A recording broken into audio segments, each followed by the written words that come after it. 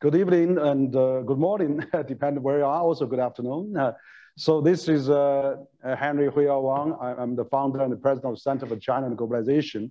I'm very pleased and honored to host the uh, uh, CCG Global Dialogue Series tonight here in Beijing at head office in the central business district at in Beijing downtown. And we are live here from CCG Beijing office.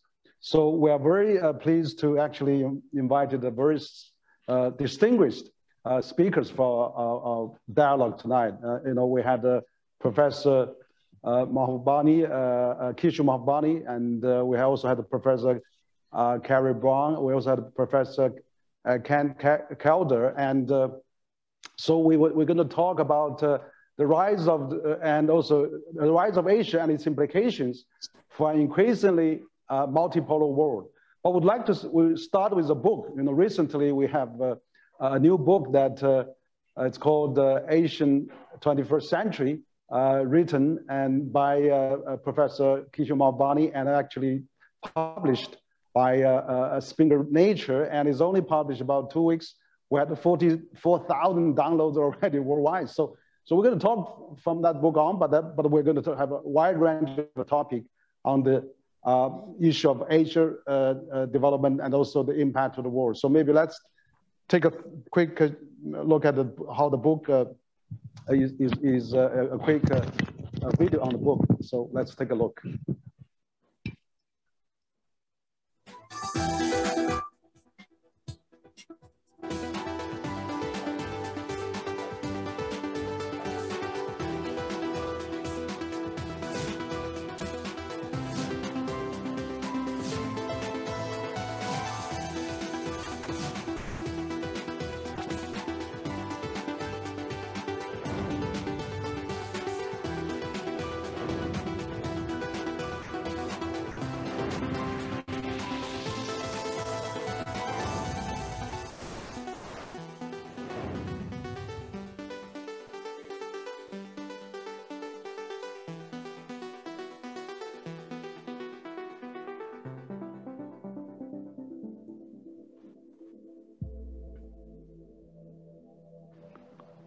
Thank you. So we actually had the book uh, uh, launching event last, uh, uh, you know, about a, a, week or so ago, but, uh, but I'm very glad that uh, today we're going to have a, a more focused, you know, dialogue, and of course also a topic rising from, from, from, from here, but also, you know, we can cover a wide range of a topic regarding Asian and its a multipolar world. Uh, so maybe tonight, you know, I'd like to uh, uh, uh have a, uh, you know, this dialogue between three prominent scholars.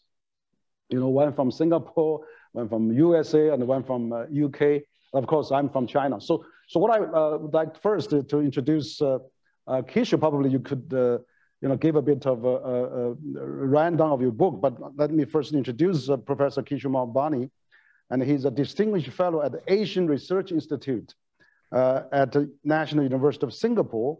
And of course, uh, you are the founding dean of the Lee Kuan Yew School of Public Policy and also Singapore's former ambassador to the United Nations. Uh, but also you are a, a, prominent voice in the world of affairs, especially uh, in regard to the issues uh, on Asia and, and US-China relations and global governance. So, so I think, you know, it's, it's probably we're gonna have you to start to give us a, uh, some new introduction about this new book you, you just published and how, how the Asian, you know, the, the return of Asian are going to impact, uh, uh, you know, uh, China and, and, and also the US and the EU and of course the rest of the world. So perhaps uh, uh, I, I start with Kishore first. Professor you, you yes. yes. Thank you. Thank you very much, Henry, for organizing this event. And I'm really glad that you managed to get two very distinguished scholars, Professor Kerry Brown and Professor Kent Calder, to join us for this event. It shows how much uh, pulling power you have, Henry. I'm very impressed uh, to get such a distinguished panel. Uh, let me, I'm, I'm going to be very brief and speak for only five minutes or so uh, to give, I guess, the listeners uh, a kind of a preview of the book. And I, I would say that to explain the book, I would make uh, three points about the, in a sense, the 21st Asian century.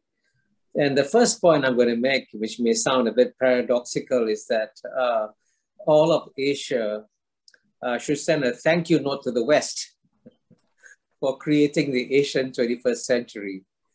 Uh, and I say that quite honestly, genuinely, and sincerely, because if the West hadn't succeeded first, if the West hadn't created this magnificent scientific revolution, if the West hadn't launched the Industrial Revolution, if the West hadn't come up with these sort of breakthrough ideas on how to transform society, you know, like Adam Smith's Wealth of Nations and free market economics and all these ideas that, in a sense, propelled the West and made them the strongest and dominant, uh, most dominant civilization in the world for 200 years in the 19th and 20th century, uh, are now the same ideas that are actually propelling Asia forward uh, in the world today. So, and, and, the, the Asians were very intellectually honest.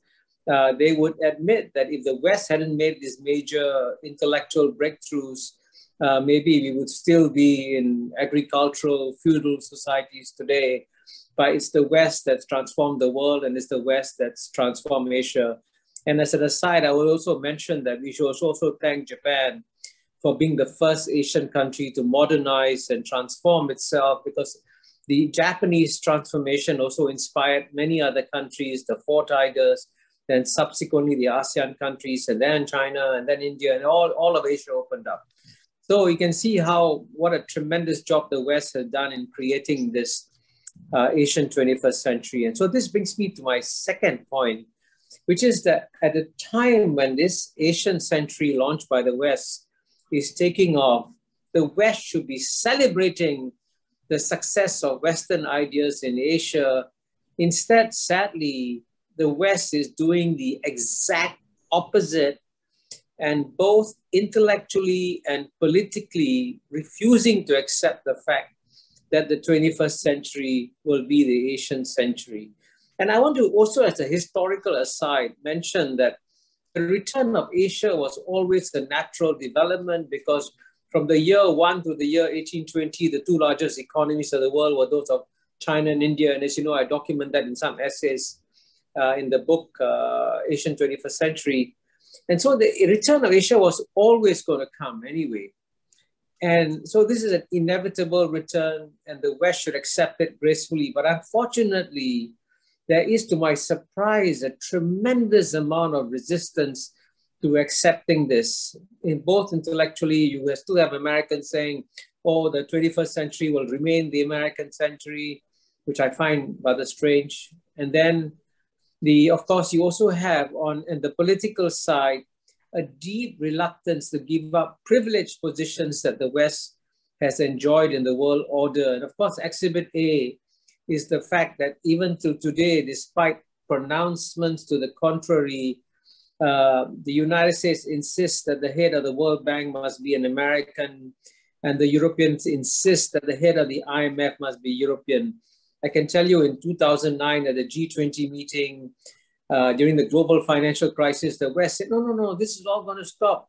We're going to select leaders of the World Bank and IMF on the basis of merit and no longer the basis of geography nothing changed. 12 years have gone by, and we still have the heads of the IMF coming from Europe and the heads of uh, World Bank coming from the United States. This is just one example of the reluctance of the West to accept the fact that this is a different world. So all this brings me to my third point, which is that actually there is a wiser, more intelligent approach for the West to take in the 21st century. And that's why you notice in my book, The Asian 21st Century, the concluding section uh, is on multilateralism. And, and you mentioned that I've been ambassador to UN. I've been ambassador to UN for over 10 years, and I still am. I was then, and I still am many years later, still a passionate lover of the United Nations. And the paradox here is that the United Nations and its ideas and the UN Charter were essentially created by Western thinkers. It's Western ideas, Western concepts, and the UN General Assembly was conceived to be the parliament of man representing the views of the whole world. And so, in a sense, if you want to create a more balanced world order to reflect the new world, we don't have to reinvent the world. We can just take the 1945 rules based order that the West created and work with it. And so, you know, in the population of uh, 7.8 billion people in the world, only 12% live in the West, 88% live outside the West. If you want to know how what 88% are thinking, you don't have to go very far. Go to the UN General Assembly and, and use the UN General Assembly as a parliament or man to listen to what exactly the world wants. And the good news is that most countries in the world, especially in Asia, want to cooperate with this rules-based order that the West has created and actually want to have a more stable world order. And you mentioned China. China has become the biggest beneficiary of the 1945 rules-based order. Therefore, it's in China's national interest to preserve this rules-based order rather than to disrupt it, as many fear would happen. So actually, if we do want to create a peaceful and safe Asian century, we don't have to go far. Let's go back to the 1945 rules-based order.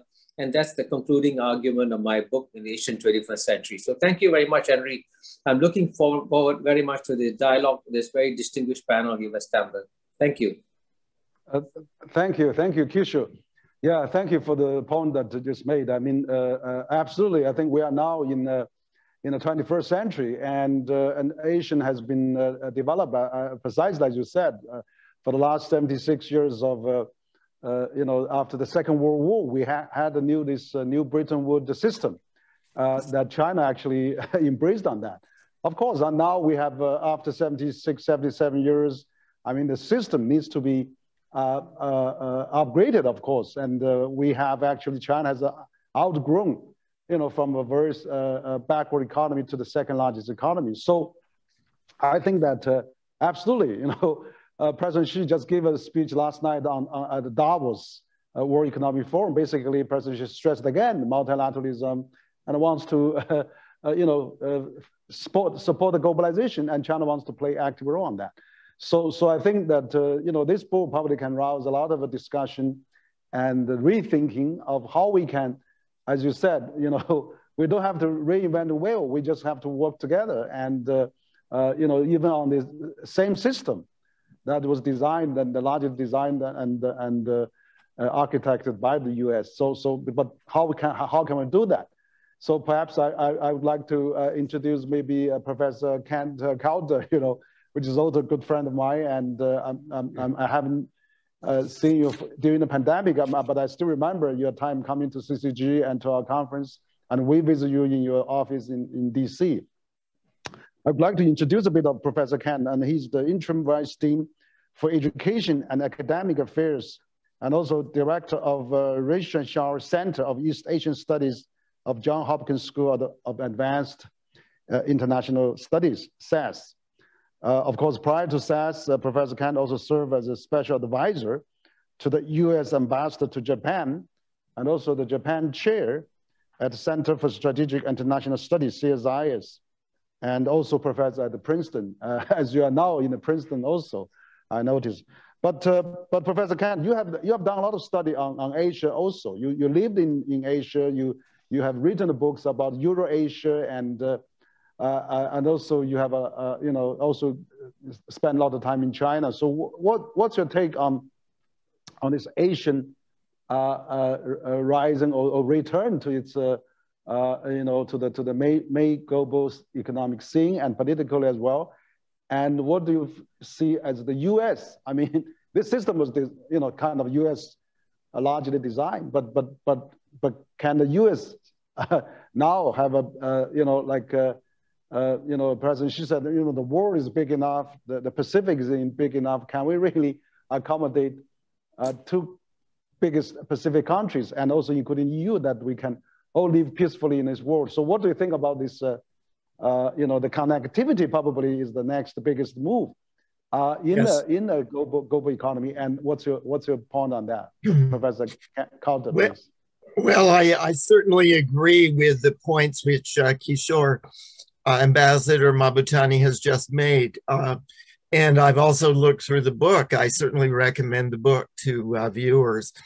uh, I myself, of course, for years, I've agreed very much that we have a global transformation underway. Uh, the first book that I did while I was uh, together with Roy Hofheinz at Harvard University back in 1982, uh, The East Asia Edge, uh, we were talking also about a global transformation, about the rec- the uh, revival once again of a world that exactly as he mentioned, uh, Asia had been at the center historically, and that that world uh, after the important and creative interlude of the Industrial Revolution and many of the difficulties since that we are returning to an earlier era.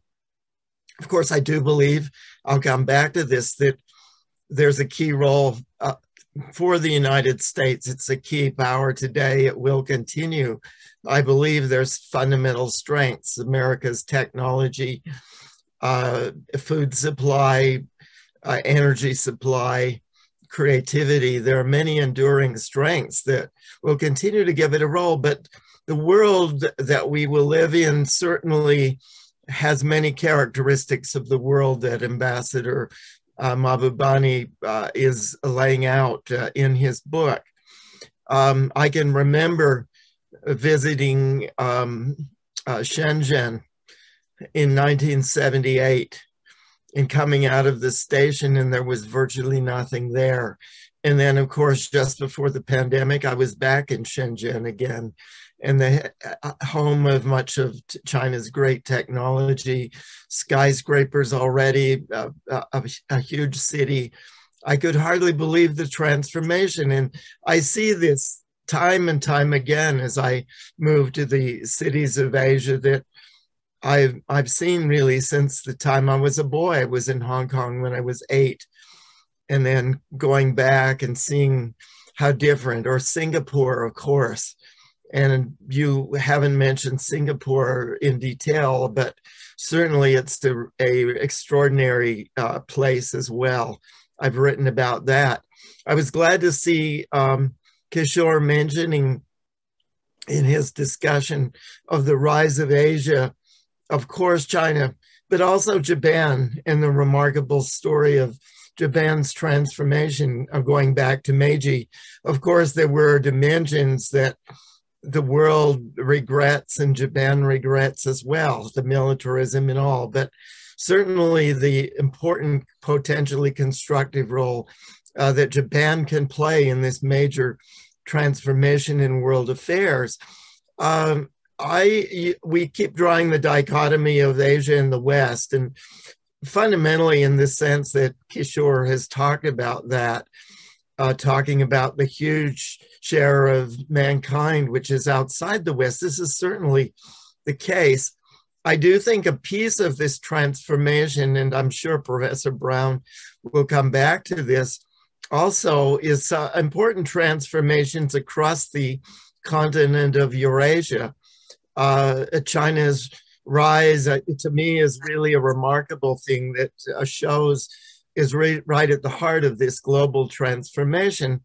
But uh, no doubt it's also been magnified by the collapse in the early 1990s of the uh, Soviet Union, the uh, transformation more broadly of the continent, the end of the Cold War uh, also, of course, created a different Europe uh, and the extension of the European Union and uh, other and NATO and so on considerably to the east and deepening ties in the last decade across the continent between particularly China and um, and Germany, but uh, with the AIIB and so on at an important point also with Britain.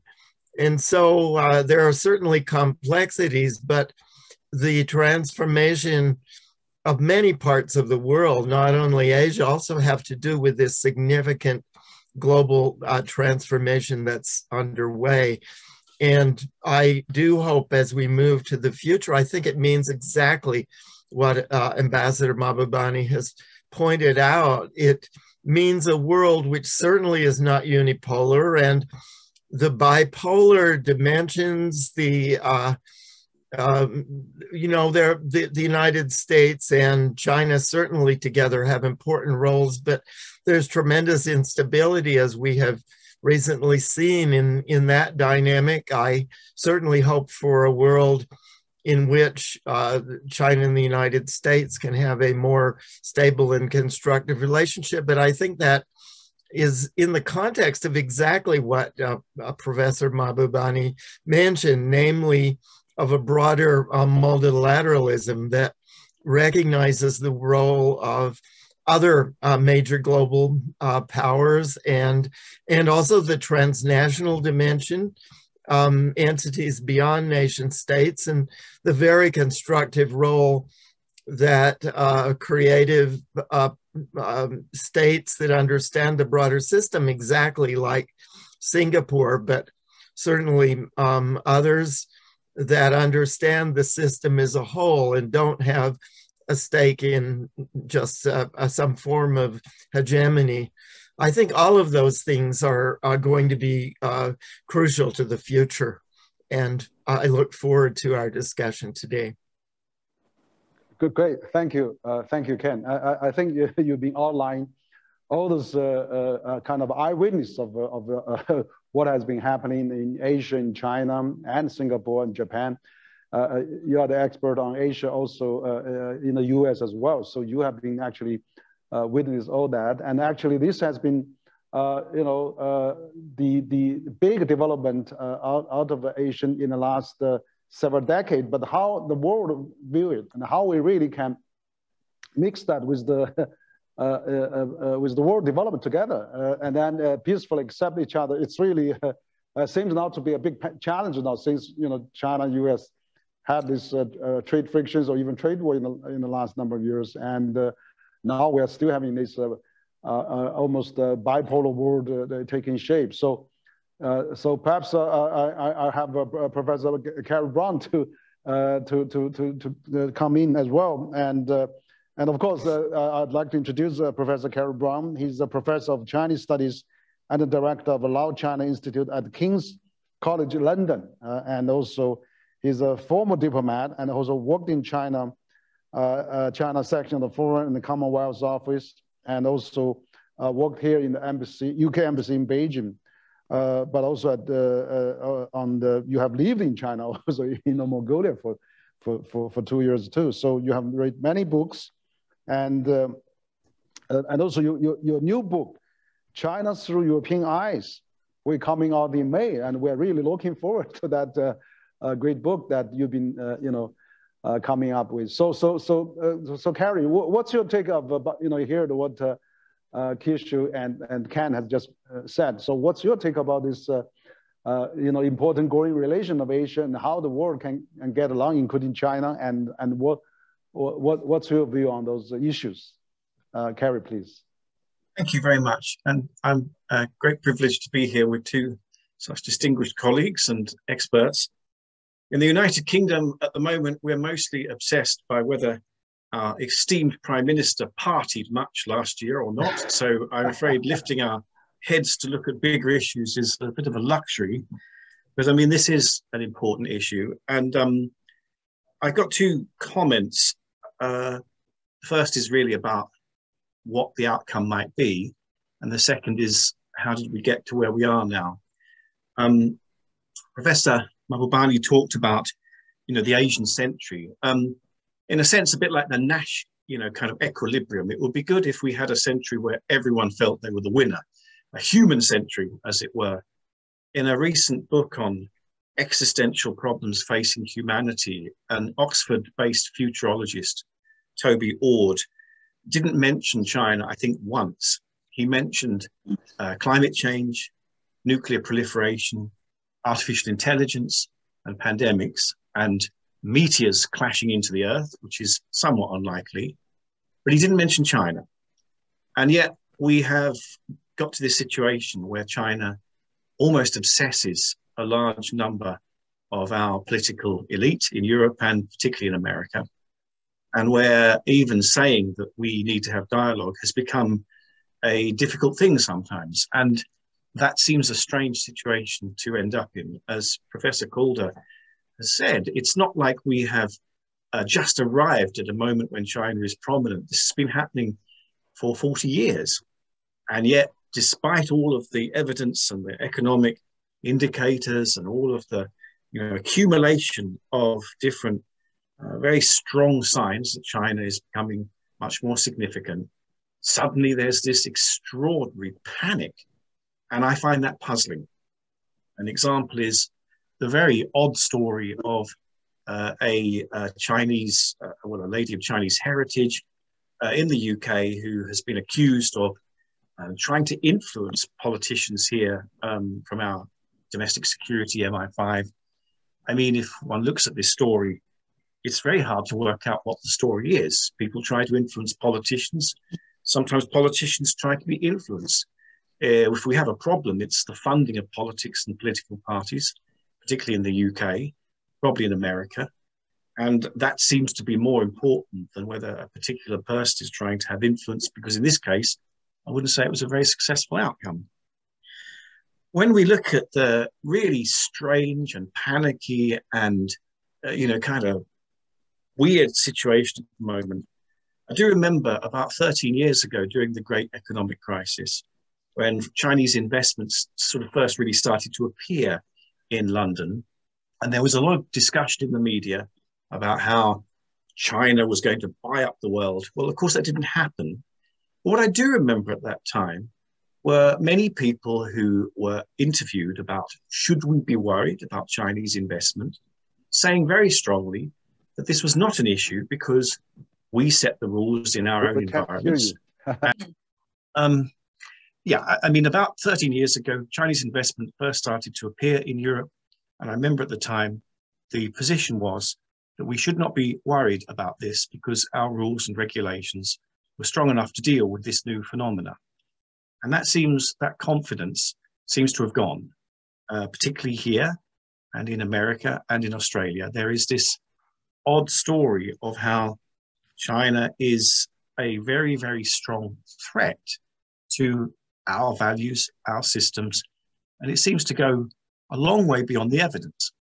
And it seems to make China into a problem, which is a different kind of problem to what it might be. This is not about Asia in particular, it's about China. I suppose the final thing then I have to say is that what really puzzles me in this situation we're in now is for Europeans, for Europeans, China and Asia are not new. We have been interacting for 500, 600 years. We have a long history. Uh, Henry just referred to a book coming out this year. It's actually not my book, it's a collection of the key documents by major European figures over the last 500 years about China. These are not China experts. They are major intellectual figures. Leibniz, Montesquieu, Voltaire, Marx, Hegel, Max Weber, Bertrand Russell, Roland Barthes. I mean, very significant figures who wrote about China. The pattern that you get over that 500 years is broadly two narratives, two stories on the one hand, to idealize China, and the other, to be fearful and demonize it. Leibniz, I suppose, represents the idealization and Voltaire. They regarded China with its Confucian meritocratic system as a valid alternative for what Europeans were doing at the time in the Enlightenment. And that has continued down to the present day. On the other hand, figures like Montesquieu wrote of China as being an oriental despotic place that we shouldn't copy. Now, in the narratives that we have available, at least in Europe, and it seems to be the case in America and Australia too, I don't see that fundamental structure has changed.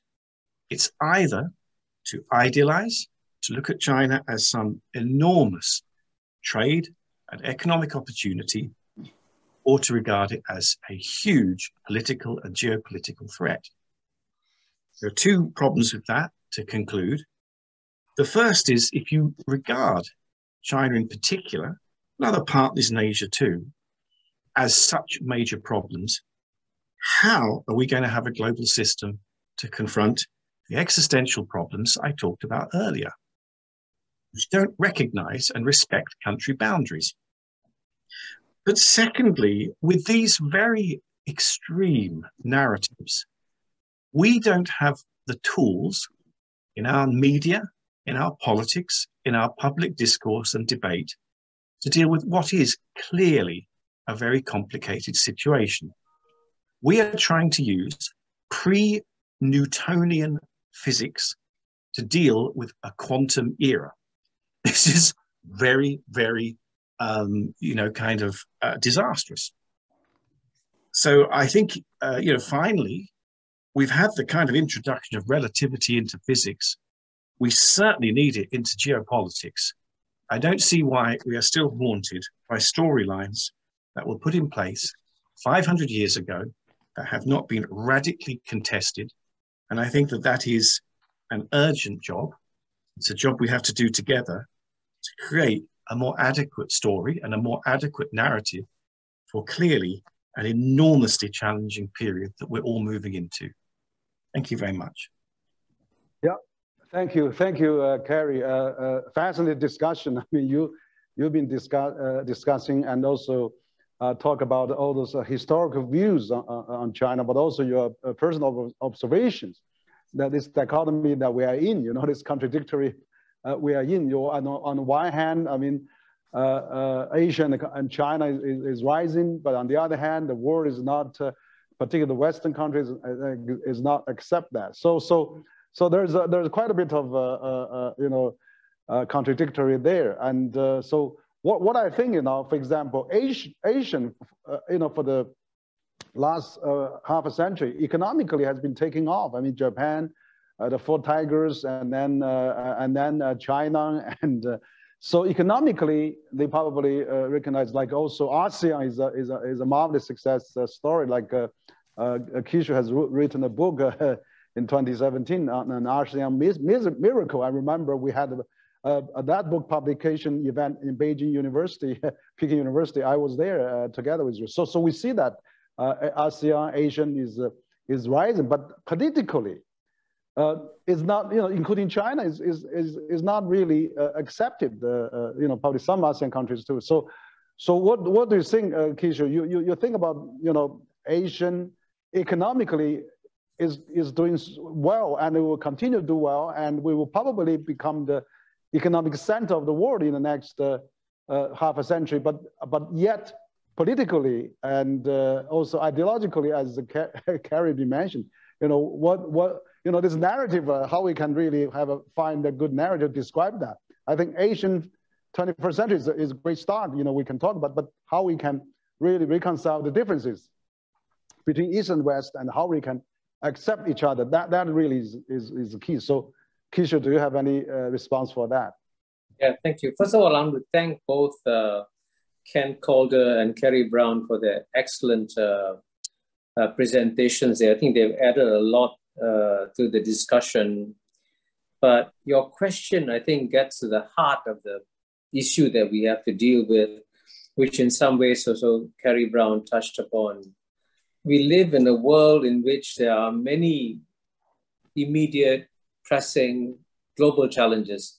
And I'm glad uh, Kerry Brown mentioned that when his, uh, this Oxford professor was listing the problems in the world, China was not on the list of problems but you know it was uh, climate change uh, pandemics and we can name all of them you know so the, the the challenge we have is that there are two imperatives coming to clash in the 21st century. So the first imperative which i think is the dominant imperative is that the world has shrunk you know? And we all of us, 7.8 billion people, in the past when we lived in 193 uh, separate countries, it was as though we were living in 193 separate boats with captains and crews of each boat. Now the world has shrunk, and the 7.8 billion people live on 193 separate cabins on the same boat. And if you're a cabin on the same boat, there's no point taking care of your cabin if the boat is going to swing, sink because of climate change, and the boat is going to sink because of pandemics and so on and so forth, right? So we the, the imperative to cooperate has become very strong and very powerful. And logically, if human beings were the most intelligent species on planet Earth, that's what they should be doing. But unfortunately, in the 21st century, another imperative is coming to play, which is the 2000 year rule of geopolitics, which states, an iron law of geopolitics, whenever the world's number one emerging power, which today is China, is about to overtake the world's number one power, which today is the United States, the world's number one power always pushes down the world's number one emerging power. And as you know, that's what my book has China Won which is behind my shoulder, is all about. And that's also the book that you, you kindly arranged for the translation in Beijing or in China too. So these are the two conflicting narratives that are hitting humanity. There's one imperative pushing us to cooperate. There's one imperative pushing the two great powers to engage in a major contest. And so I think here the solution, therefore, is, you know, in, in, in my book, I devote a chapter to what I call the six billion people because out of 7.8 billion people, 101.4 billion people live in China, 330 million live in the US, there's still 6 billion people outside. So it's very important for the 6 billion people outside to try and persuade the US and China to press the pause button on the, on the geopolitical contest and focus on the common global challenges. So I hope there'll be more voices like the one that uh, Professor Kerry Brown referred to, this professor, from Oxford saying, hey, humanity has got much, much more pressing challenges to deal with. And that's what we should focus on. You mentioned ASEAN.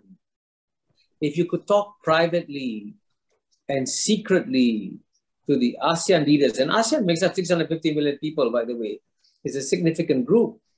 Their wish is for the United States and China to really stop this contest and help them deal with the more pressing challenges that they face, which is COVID 19, which is climate change, which is poverty, which is the need for development, and, and so on and so forth. So I hope that there'll be more voices like the one that uh, Professor Kerry Brown referred to, speaking out and saying, let's press the pause button everything else. Let's focus on global cooperation.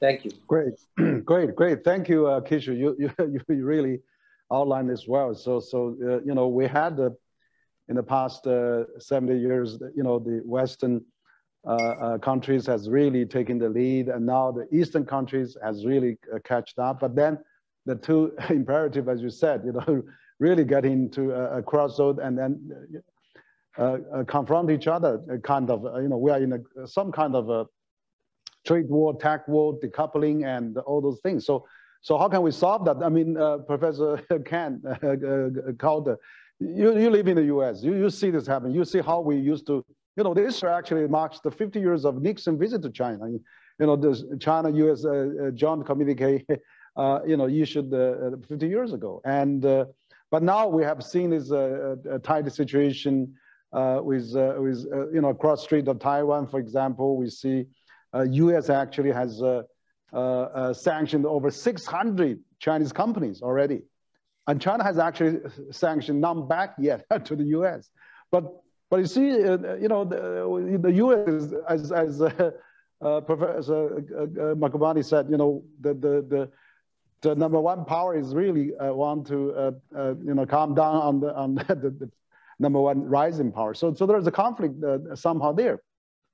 But do we have a chance to work together now? Because with pandemic, it's, it's such a, you know, we lose such a golden opportunity to work together. Also, the uh, US is talking about uh, uh, Build Back Better World, B3W, and China has a BRI, as you are a, a BRI expert too.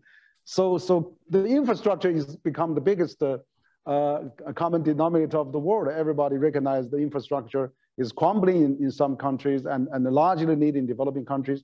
Can the US, including EU, EU announced the 300 billion euro uh, European gateway. So can, can we really work together uh, so that we can really uh, set aside these differences?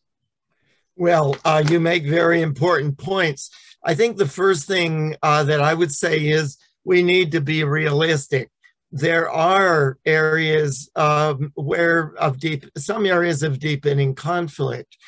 Uh, for example, uh, in electronics technology, the um, civilian sectors and defense related sectors actually technologically uh, in areas like artificial intelligence, for example, possibly 5G and so on, they are coming technologically uh, closer together.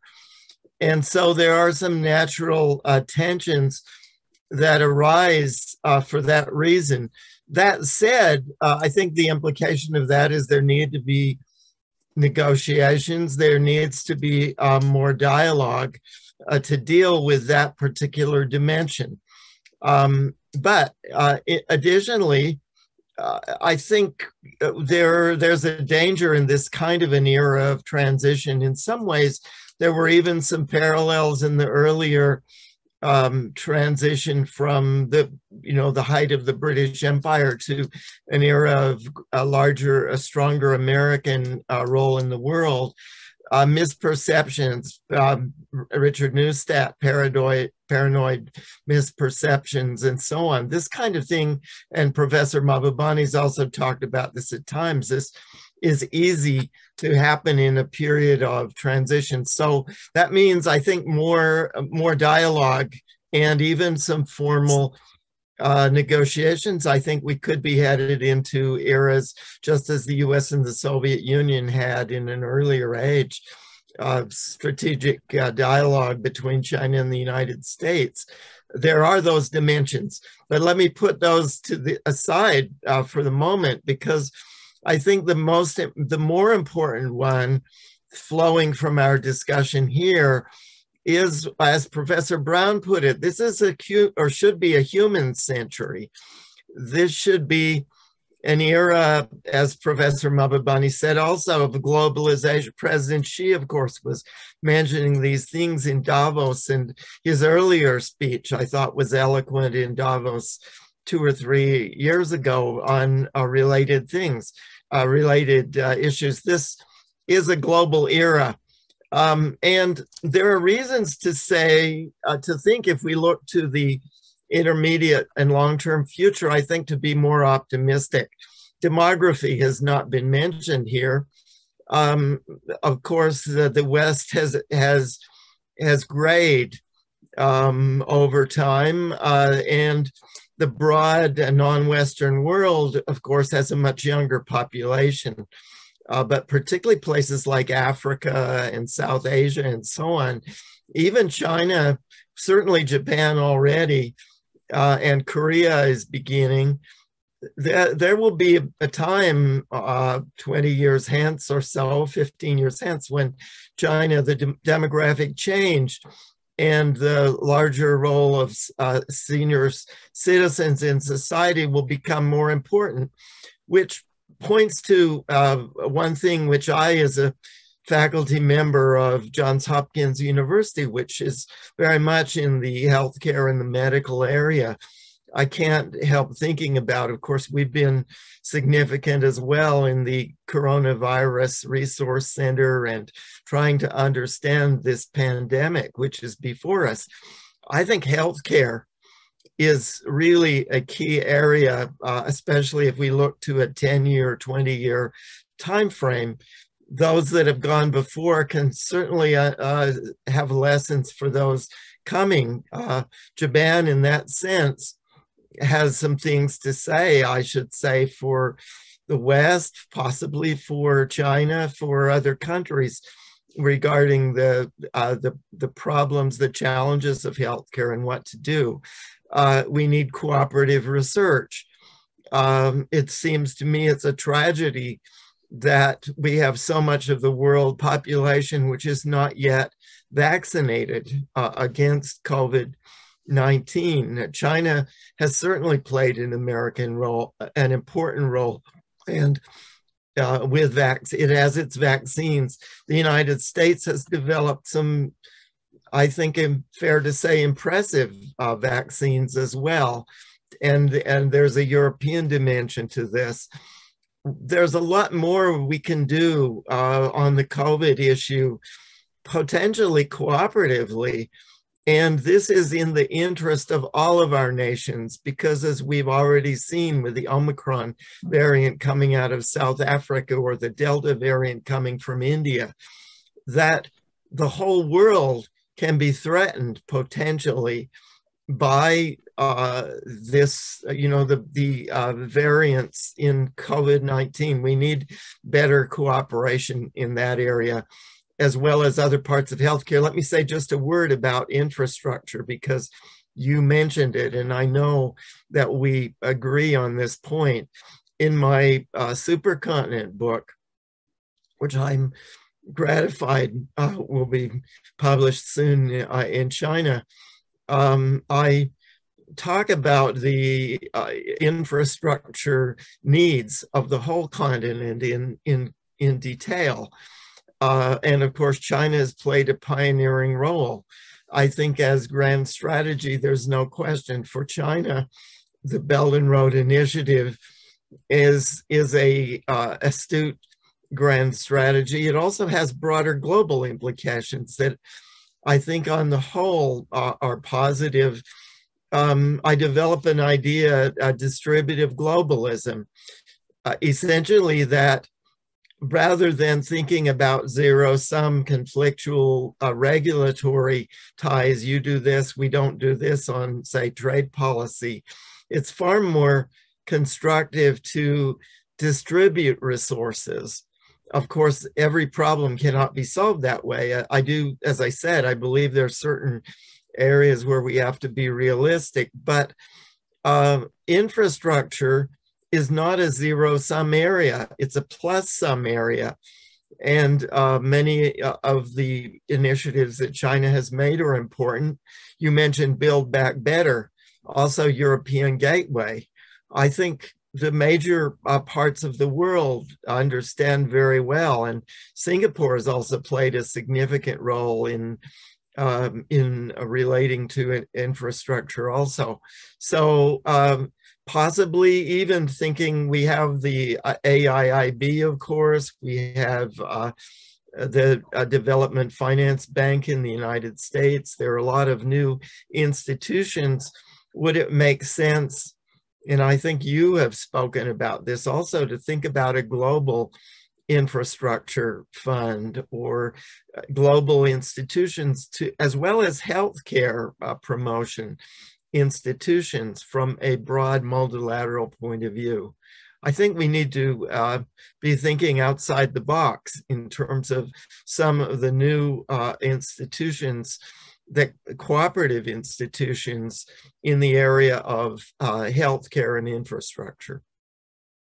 Yes, yes. Thank you, thank you, Kent. Yeah, uh, I think your your your idea of uh, distributive uh, globalism is is is also uh, a very interesting idea. And, uh, and actually now we have this, uh, uh, you know, the, the, the infrastructure is, is where I think the world is all badly needed actually. I just talked to your colleague, uh, uh, also is a good friend, uh, David Lampton, not too long mm -hmm. ago. He wrote a book about the I River, about this China Laos Railway, just recently opened the last month. So, so, so I think you know this this China starting connecting ASEAN countries already by railway now. So, so this is really, I think we, we have to find big things to work on uh, and big hope to handful. Otherwise, we, uh, you know, to, to, we, we, we're going to lose the, you know, lose the uh, confidence of, of build up the relations and that is really bad. So we have to work, you know, climate change, uh, uh, infrastructure and pandemic particularly, we, we really has to work. So I agree with you, you know, that's all the urgent issues uh, both China, US, and EU, and uh, we, uh, the whole world needs to get work together. and now I would like to turn to to to Kerry now again, and I, I, know you, you, know you and I we've been in the, getting quite a few dialogues on the China you know, the dialogue on China, you know, DOC and uh, and also on uh, South China Morning Post uh, webinar bars, and we, we see this um, there's two narrative. Like, for example, the, the, U.S. is emphasized on the uh, uh, American style democracy. And we see also China is holding democracy uh, forums. And so, so actually, you know, the rise of Asia, the rise of China, I mean, economically, it's fine. It's only the ideologically and also the governance style, uh, particularly the value that, that, that seems Western has problem, particularly for China. So how do you think we can reconcile this? Because, uh, uh, you know, uh, you know, the Western democracy also, we see some uh, challenges, problem too, like January 6th, what happened on the Capitol Hill. But you see, the, the, the, the, democracy system works in China. We also, we had a meritocracy, we had, the, uh, you know, a consultative democracy, we had the, we have a consistency. We've been working from one five-year plan to another five-year plan. And, uh, and also with those the modern decision-making supporting system you know, the system can be as effective as, uh, as a Western democracy, as even more so probably. Let's compare with the uh, uh, KPI of all the performance of the country. So, so what do you think, how can we really, you know, make peace with the, these two narrative or maybe how accept each other, particularly for the West to accept China on these value and, uh, and uh, ideological issues, uh, which you are very familiar with? Yeah, thank you. Um, that's a tough, tough question if I were to be extremely flippant, I would just leave this question for the next generation or two okay. or three. A bit like Deng Xiaoping, I think, said about, you know, certain political issues. I think on Taiwan, he said, just leave it for the next generation or the generation after that. I mean, um, because if you were to sort of have someone arrive on this planet from Mars, um, who knew nothing but could speak, obviously communicate with humans. I mean, I think they would work out pretty quickly that uh, there's one group broadly around the United States as the most powerful that has one view. There's another group broadly around China as the biggest economy, but not necessarily very politically aligned with China. But, you know, these groups don't agree. That's all you could say. They don't get on and they don't agree.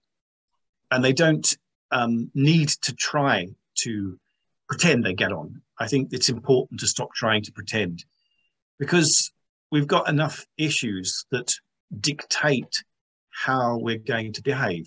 Climate change doesn't care about values. Pandemics don't really care about values. Um, government responses to the pandemic have not really varied massively, whether they were democracies, non-democracies, whatever system, uh, everyone has struggled. Um, they've taken very, very different routes. China's route has been one, the European route has been another. They've all had um, some challenges and they've had some successes. Finding the vaccine, for instance, in different places uh, was, was obviously an important thing. So no one really wins in this. No one loses, no one wins. We all are kind of on a flat earth here. Um, and I think that's really important that we give up on this idea of uh, there being a conclusive debate about which values are preferential. Uh, there are things that work and that don't work, and big issues now are going to dictate what we need to do. Um, we are wasting a lot of time at the moment arguing about these unresolvable values issues when we clearly have evidence every year of our climate being a problem. Uh, and Europe, uh, Germany last year had floods that killed many people. China had floods that also led to fatalities. So this is very, very uh, obvious and the same problem. Now, I think COP26 last uh, October is a good example um, because beyond all of the arguments about who attended and who didn't attend, actually the end result could not and did not, you know, solve the problem, but it gave a good basis. I mean, I think it's really good to look at COP26 and say it is much, much better to have an agreement like that, even though, of course, it's not perfect. It's got many, many problems, but it gives us at least something to work on. And without that, what would we do? And although there's going to be many arguments about how to get rid of fossil fuels, I think personally it's likely that China will move more quickly, but it clearly doesn't want to sign up to binding agreements at the moment before it knows what's going to happen. But it's in China's interest, as it's in the interest of Europe and America, to urgently do something about this problem. So we're all pretty rational And I wonder if we were just to pause, you know, I think we should have a, a week when we don't have social media, when we don't have media at all. We just have a week of silence, global silence. And we kind of work out what really matters in that time. And as I said, and you know, I, am respectful of the views of others here too. I think what really matters, uh, it doesn't matter if you're in China or Europe or America, um, you want a good climate, clean air, clean water, and prosperity.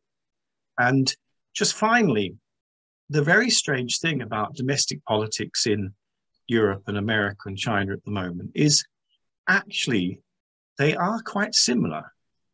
Britain is struggling with inequality and leveling up. America, obviously, is very big issues of the impact of the pandemic on uh, different groups and how unequal that is. Common prosperity in China, as I understand it, is also about trying to level up because there has been big inequalities um, during the reform period, with some people gaining and some people losing. So there's a very similar agenda here. And finally, if we look at the kinds of economic challenges that the pandemic and other things are bringing, uh, it's going to be a challenging time for everyone. Uh, growth is going to be really challenged. Uh, there's no one that's going to come out of this very easily. So I am interested in how politicians, in particular Europe, are going to be able to sort of maintain this strong conviction that we are in such a luxurious and strong position that we can completely ignore our economic interests and say we're not going to deal with anyone who doesn't agree with us. When in fact, economically, we're going to urgently need to find new partners and sources for growth.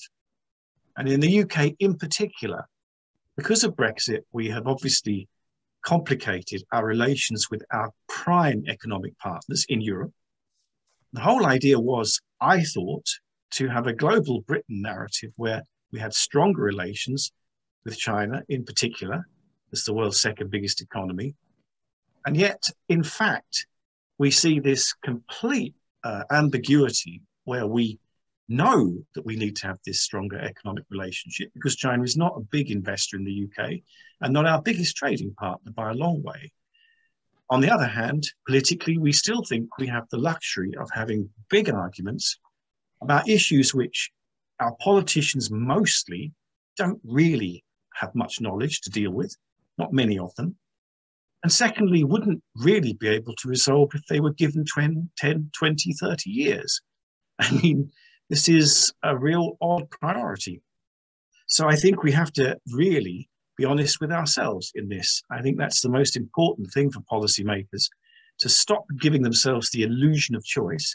On many things, we can't dictate what we can do.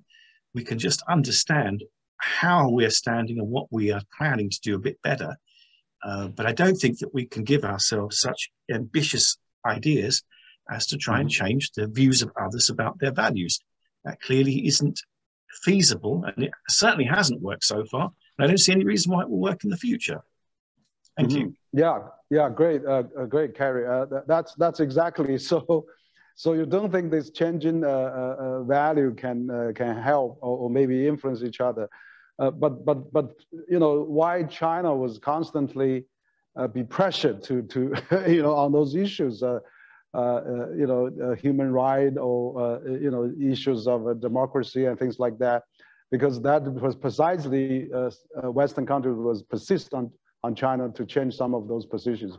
But but but you're right. You know those are difficult. But but again, uh, as uh, Professor Mahbubani mentioned uh, in his book, you know from year one to year 18th century, you know Asian civilization, China was dominant. You know the largest GDP in the world. But for the last 200 years, China falling behind. Now we're talking about the rise and return of Asia, return of China. Can the world accept that? And how can the world accept that? And uh, what, what are the things need both sides to do? I mean, that's again the question I, am going to ask uh, uh. So, so what, what, you know, I mean, I, I couldn't get an answer from uh, uh Kerry, but let's see what we can do about this, uh, you know, rightful rise of, of Asian and China, even though they, are, they have a different value in, in, in the different countries, even in Asia. I mean, Asia as a whole does not have a, a, a unified value itself either. So it's, it's diversified group. But, but at least economically, their, their integration, we have RCEP getting effective uh, uh, this year, January 1st. It's the largest free trade agreement in the world now. And we have CPTPP, which is largely also Asian uh, country in, in it. And we hope that China is also busy building up all those economic alliances where China has also confounded with those military alliances, uh, secure alliances like AUKUS or, or, or, Quad and things like that. But, you know, what, what can be done? You know, how, but also, uh, uh, Kerry mentioned about this, uh, you know, uh, climate change. I mean, you know, doesn't recognize value to climate change. But China, you know, on, on, on, on, on this front, actually now develops, developed most advanced technology now on the clean energy vehicle, automobile, the largest uh, clean energy vehicle, the largest uh, solar power uh, producer, largest the wind power producer, largest hydropower producer. China is really uh, doing fast on that as well. I mean, that can benefit the whole world if we really recognize each other right for existence. So how can we do that? I mean, I had all, all of you, perhaps Professor Mahbubani can give some further thought on that. Thank you, Henry. As usual, you raise very good, challenging uh, questions. You know, you know, when this session began, and I was asking myself, what will be the outcome of our discussion among the three of us? We have one scholar from United Kingdom, one scholar in United States, you in China, and me here. We could have ended up, frankly, in this discussion with very divergent points of views. You know but I have so far noticed in, in most of the points that are being made, a great convergence of views, you know. So for example, Kent Calder, when he says that infrastructure is not a zero-sum game, but a positive-sum game, frankly, if, if America builds a road, it boosts economic productivity. When China builds a road, it boosts economic productivity. It's a positive sum game. So both sides should build more roads, you know, and say not, not see this as a zero sum game at all. And similarly, I think the, the key point that I think Kerry Brown is emphasizing is about the pressing global challenges that we face. And th- those are actually much, much more important. And we should all be coming together uh, to deal with that. So, I mean, if people were listening to this discussion, they would end up saying, hey, we can feel more optimistic uh, about the future of the world. But as you know, also, there are voices that are discordant. And, and that's why actually I, am looking forward to seeing very much the book by Kerry Brown on traditional European voices on China, the, those which idealize China, idealize China and those which demonize uh, China. There is actually a very strong, powerful constituency especially in the United States, which is demonizing China today. I mean, let's be very, very clear about that, okay? It's a very powerful constituency.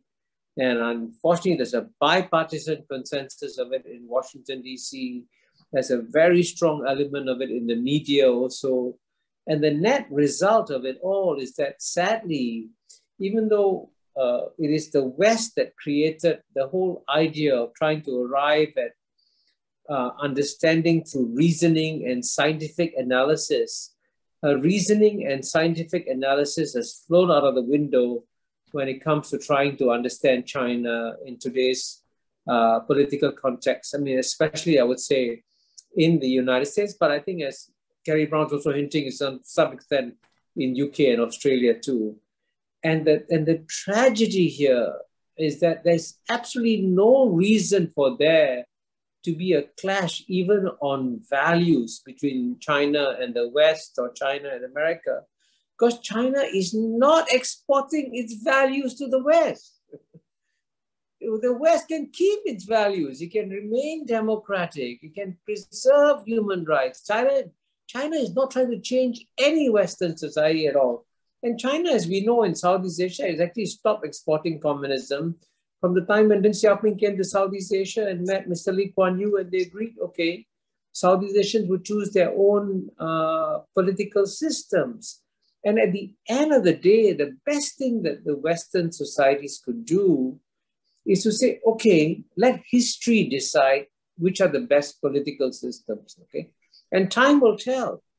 And as you know, in my book, I say that if, if, if this really is a contest, a black and white contest, between democracy in America and authoritarian systems in China, then the West can relax, it's going to win. But if you look functionally at American society, American democracy, as I document in great detail, has become a plutocracy. And that's why there's so much unhappiness among the bottom 50% in America. And Chinese society has become a meritocracy, right? And you and the Chinese Communist Party has managed to get the really um, remarkably them the best minds in China to serve in the Chinese Communist Party. So it produces very intelligent public policy public policy solutions, including on climate change.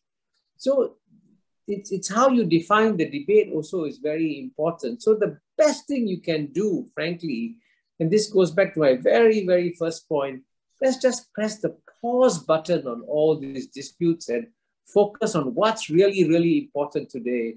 I think this is what Kent Calder was emphasizing. This is what Kerry Brown is emphasizing. You know, issues of climate change are staring at us in our face. Every year that we waste is very dangerous, you know we should be focused on common hum, human challenges. And I'll, and I'll be very happy to call it the human century if we all agree, okay, we come together, 7.8 billion human beings, forget our American identity, our European identity, our Asian identity. Just remember that we are all an endangered species on planet Earth. That would be a fantastic outcome from this discussion. Yes, yes. Uh, uh, thank you, Kishore. Actually, uh, you know, when when when those uh, uh, tycoon, you know, from uh, Tesla or Amazon, when they fly fly on the, the outer space, when they look down on Earth, you know, they felt that the whole global village, you know, it's all human beings. I mean, we're not no no difference at all. Uh, absolutely, you, you talk about this plutocracy, and uh, uh, you know that reminds me about the U.S. It is is one percent. You said it's you know governor of the one percent by one for one percent it, it's true, you know, the, the, the, middle class for the last 30 years, as, as you stated in the book, has not gone up any, anywhere, uh, uh, you know, uh, in its uh, income. Uh, whereas China has been very careful on that. You know, like President Xi come up for the last 10 years, he tackles the most, uh, the last, you know, 100 million extreme poverty, the most difficult part, and totally eliminated that. That's really a, a, a big achievement. And also now they're calling for the common prosperity, basically is now looking at the 300 million migrant workers in the cities, you know, fast delivery boys or DiDi drivers and things like that.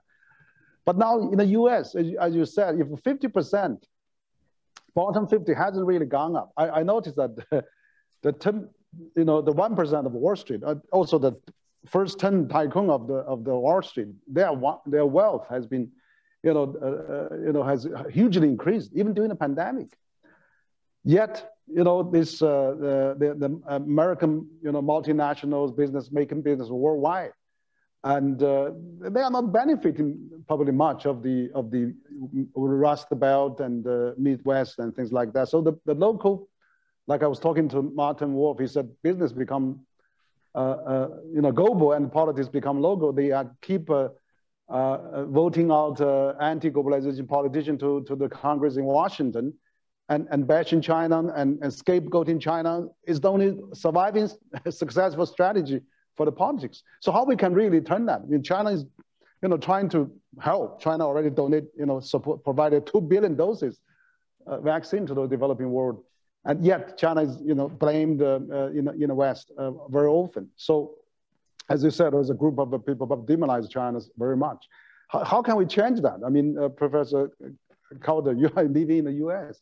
And uh, how can we do on both sides? Probably China also has to uh, get better on its narratives, get better explanations. And, uh, but, but, but this economic globalization has really created such a big challenge where China taking a lot of blame now for that. And, uh, well, and trade war was an example, yes. You know, as I said, uh, one thing I think we do have to realize that in some ways there are forces, technological forces, that are driving us toward the, uh, greater conflict. Uh, we have to have some degree of realism that the, I would say, particularly the next 10 years, is going to be a delicate uh, period, a transition period. Uh, so we can't, I mean, of course, that's precisely to me what drives the importance of a broader vision, a broader, more effective vision for uh, what can be done, which I think it has to be more concrete. And it involves a broader uh, understanding in the West, I, I would say, in, in, including in the United States, and within the United States, including those parts of the country that exactly as you have said, uh, have not benefited from recent developments. Uh, I know that you, I was very interested that you had spoken to Angus Deaton, who uh, was a colleague of mine for many years at Princeton uh, University, and of course has written, I think very eloquently about the problems of the American uh, working middle class, working class, and so on. Um, so some part, and of course, much of the tension, uh, the actual tension, I think, in U.S.-China relations, much of it is driven by security tinged issues and by things like technology. But the political side, the political edge on the tension, which in some ways actually is quite irrational, I think is driven by the deepening frustrations of our uh, working class and by the, uh, you know, in the Midwest and the Rust Belt and so on. And it's a difficult, uh, some of these things need to be done indirectly or through, for example, global funds or through global initiatives that go beyond simply US-China uh, relations, I think, um, it, because the, the global perspective, I think politically speaking inside the US probably could in the short run have more salience. That said, it needs to be combined, I think, by something very uh, exactly what you are uh, doing here uh, with the Center for China and Globalization. You have had, I think, some very uh, impressive dialogues with uh, people, opinion leaders, uh, some of them, of course, are the globalists, uh, our common friends, you know, of course, uh, Joe Nye and, and uh, Tom Friedman and so on. But also, as I said, I was very interested, you'd spoken with Angus Deaton. And I think reaching out, your role, uh, which of course presents some of the important uh, things that uh, uh, China has done, a reforestation, um, the uh, electric vehicles uh, that and well, including the role which you have allowed for foreign investment, including American investment. Tesla, if I'm not mistaken, has one of its largest uh, factories in the world uh, in Shanghai. So um, I think understanding a vision uh, for the kind of world that we need. In that vision, some uh, appreciation and um, uh, increased information about the th important things China has done. Some uh, attention to the issue of dialogue with it, with mid our middle class and uh, increasing the understanding of our our including our working class, uh, which I think is politically somewhat pivotal in the United States, even though they, their actual direct conflicts uh, with China, I think, are far less uh, than is often thought. So it's a complex question of uh, improving uh, relations, but I think the multilateral context together with an attention to economic prosperity, shared prosperity, and uh, issues where we do uh, have common views like uh, infrastructure and healthcare, I think are quite crucial. Yes, yes. Uh, thank you, Ken. Yeah, you mentioned about Angus Deaton, you know, the Nobel laureate from Princeton. Yeah, I had a dialogue with him a few months ago, and uh, he, he, he impressed me very much with his very solid uh, research that he actually studied American, you know, he's, for example, the life expectancy of US is dropping year or two, old, year, year or two now than before, whereas China's uh, life expectancy is only a year or two apart from US. So there's a lot of uh, uh, things that uh, uh, makes uh, make his work very impressive. And Uh, but uh, but I'd like to you know also finally ask uh, uh, Kerry and you in UK and and UK now get out of EU and talk about global Britain. So do you think that UK still have uh, you know, a, a, lot of a role to play. I mean, rather than playing AUKUS, we would like to see UK play more in the CPTPP. Maybe, you know, talk with China and let's let's revive Asia on those uh, on those positive things. You know, we may have, you know, as, as uh, Kishore mentioned, we can we can maybe tolerate different values and system, but economically, uh, everybody share the same benefit and recognize the value of that. So, uh, so what do you think about UK can can do in terms of uh, uh, as now, uh, you know, you have a big influence in the, in the, in the West, in US, uh, Five Eye, and, and also now Prime Minister is talking about have a good relation with China. So how can UK play a unique role uh, in, in balancing all those uh, differences? Yeah, I mean, so the integrated review produced by the United Kingdom as a foreign policy document last April uh, kind of tried to look at all of our foreign policy issues and spell out a bit what the global Britain kind of story was. Um, I think it's a good document. I mean, it's probably one of the best ones that this government has produced. Um, and, you know, it there sort of spells out this idea of a relationship, specifically about China, being, you know, collaborative, competitive, and then adversarial. So that's the same structure as the United States. I think Antony Blinken used the same kind of division um, in, uh, you know, speaking last year. Uh, and it's the same in European Union documents. Um, the problem is that where do we agree with each other on where China is collaborative, where it's competitive, and where it's adversarial? Um, because everyone has a different view. Now, I think for the UK, we will um, be uh, led by where our economy goes. Because the whole logic of Brexit was we would get out of, you know, uh, one set of relationships so that we could then become a different kind of trading, investment, and uh, economic entity. Um, we have signed free trade agreements with Australia. I think Japan, they have not delivered a great deal. The obvious one would be with China. And we, in theory, should be able to uh, be free to sign such a, a deal. Um, politically, of course, that's really hard at the moment because politically, uh, the United Kingdom is having a difficult time with China. Uh, and it's also needing to show that it is aligned with the United States. Um, and I think this will not be resolved until we are clear about the economic impact of the pandemic and of leaving the European Union.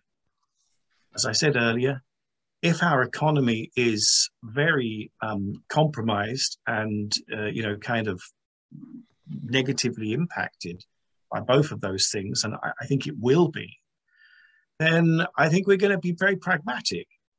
The United Kingdom has a strong kind of strand of, you know, business is business and other things are other things. And at the moment, there's a big tension. Uh, part of the government wants assertion of, you know, our special values, of our role in the world, which I think is ambitious and I think unrealistic. But there's also strong support for uh, being pragmatic, uh, doing uh, work on investment um, and on uh, the, the economy. As I said, Chinese investment in the UK is 0.7% of our investments from abroad. That's small. That's that's very very small, and also um, Chinese exports uh, to the UK are far more than Chinese uh, than British exports to China. Uh, that's actually increased in the last two years. It's become worse. So we should do a lot, and if we don't do that, a lot of the reason for why we exited the European Union becomes even more mysterious. Uh, we're meant to improve our relations in terms of trade and investment uh, with partners like China. Uh, but if we say, in fact, we can't do that because of other reasons, that's a very different story than the one that we were telling ourselves even a couple of years ago. Um, I think my personal view is that I think our politicians will speak differently when the um, seriousness of our economic position is much clearer. And I don't take a great deal of attention to what they say at the moment because I don't think that anyone knows what's waiting for us. If the economy is slightly better, okay, we'll probably carry on in the position we're in now. Uh, I, I suspect that that's not likely. Okay, great. Okay, thank you. So, so there's a, there's always economic uh, uh, corporate integration, but also the the, the difference uh, uh, will remain. So, uh, finally, you know, we have a you know five, six, seven minutes now. I, I left now. I think before we conclude, but but I, I think we have very fascinating discussion, very stimulating discussion we talk about this, uh, uh, uh, you know, the Asian 21st century, the, the, the, return, the rise of Asian and China, for example. Uh, but now the final question I would like to ask three of you, uh, you know, uh, to give, because just now Ken also said, you know, this next 10 years is going to be probably very, very challenging. And so what do you think of, you know, when would we reach a new equilibrium, you know, like, you know, okay, we can peacefully coexist we don't bash each other so much. Finally, Western would accept uh, uh, uh Uh, uh, uh, China as a grown up and, uh, you know, and now uh, treated as a, as equal, not really bashing each other. I mean, I talked to Joseph Nye, he would say, okay, maybe by 2035, we will see another, a new, new, new, new world of, of you know, mutually acceptable so, so Kishore, what do you think? I mean, you think, you know, now we talk about the return of Asia, rise of China. When would the world accept, you know, this, this reality? I mean, uh, how long do you think we're going to take uh, on that? Five years, 10 years, 15, 20? What, you know, that'd be really interesting to know uh, uh, those, uh, those issues. So, so we, we love to really talk about that. So Kishore probably can start. We will probably have two minutes, three minutes each of you. Yeah. Yeah, I think since we only have five minutes, I'll give a one or two minute response. First, I want to completely agree with uh, Kent Calder when he said, let's be realistic. and, you know, as you know, the thesis of my book, Has China Won, is that the next 10 years, there'll be very rough relations between China and the United States. And I take that as a given, okay? But at the same time, I think after you come out of the storm, there'll be a big storm there'll be a realization that China's rise cannot be stopped and the return of Asia cannot be stopped. And at the end of the day, if you ask me what is going to decide everything, it will be data. So if the IMF shows that China's GNP is now number one and United States GNP is number two, that changes the whole picture dramatically. And, and that's and you know and that's the profound changes happening in the world in terms of economic weight and power. I'll just end with two statistics. In the year 2009, uh, China's retail goods market was $1.8 trillion. The United States was $4 trillion, more than double that of China.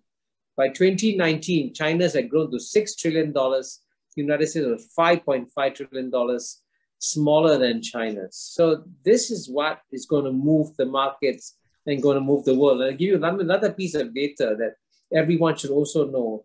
In the year 2000, Japan's economy was eight times the size of ASEAN. Today, Japan's economy is only 1.5 times the size of ASEAN. By 2030, ASEAN's economy will be bigger than Japan's. okay, so you can see how the world is being changed by these incredible economic shifts of power. And by 2030, the data will show very clearly that power has shifted to Asia. And I think that's when people will say, okay, let's start making pragmatic, realistic adjustments. And I want to emphasize this my last point neither China nor Asia want to dominate the world, they want to work with the rest of the world. Thank you, Kishore. So, uh, so, so uh, uh Professor Kent uh, Calder, please. Yes, well, I, as always, I find uh, uh, uh, Professor Mahbubani's uh, work uh, stimulating. He's been one of the most important uh, commentators on this this transition that we have now, and I like his new book as I have several of everything else, more or less, that he's done. I very rarely disagree with him, but I there's just one small cautionary note that I think we should introduce here. Um, namely, demography is at work. Uh, we uh, and I, as a Japan specialist, I suppose I'm particularly sensitive to this, but we should beware of straight line projections. I have no doubt that uh, we are coming into a new era where the uh, the non-Western world once again will move to preeminence, similarly to what was historically true. There will be a different balance within the non-Western world, and demography uh, will play a, a role in this. I have thought for many years that the grand strategy of China is astute and uh, th that many of the initiatives that have been done have been, I think, right for the for the present and and uh, the future. But the the balance, demography is going to play a role in balancing. Um, Japan has. Uh, you know, um, has has declined uh, economically. Um, Europe uh, European growth uh, uh, slowed down, American growth slowed down. At some point it, within the non-Western world, probably uh, China certainly will be the largest and the most significant, but China's growth is going to slow also. So, um, and I think actually that will help to produce uh, what we're all projecting of the a decade hence, um, a greater stability in international relations. Uh, Asia will be preeminent, but there'll be a different balance within Asia, I think, uh, than we have seen uh, in the past. And so that too, I think, is in the end will turn out to be a positive thing. It takes us back where we have been saying all along. I think cooperative projects to make it easier in the short run, infrastructure and health, uh, and to to uh, negotiate and have China better understood during this period of difficulty that we're in now. Yes, thank you, Ken. And uh, Kerry, please, your prediction, your con conclusion, yes. No, no prediction. I, I, mean, but just to sort of uh, reinforce what what uh, Kent and, um, and have just said, um, I, I, mean, I think it's important the the work that you're doing, uh, Professor Mahbubani, is um, important because we need to. I think in Europe and America, people have not quite got it. You know, this fundamental change that's that's been happening for a long time, but it's now really real. And I think we should be less sensitive with ourselves. You know, we have this big, big kind of worry when we hear that uh, there might be a different kind of power, but it's not. Um, it's not the sort of power we fear it to be. There are other challenges, but I think, you know, the ones that we're worrying about are not the ones that really are worth worrying about. It's something very different. It's a world of complexity we're moving into, and the complexity is the problem, not the idea of you know a new power coming and dictating like what everyone's going to do.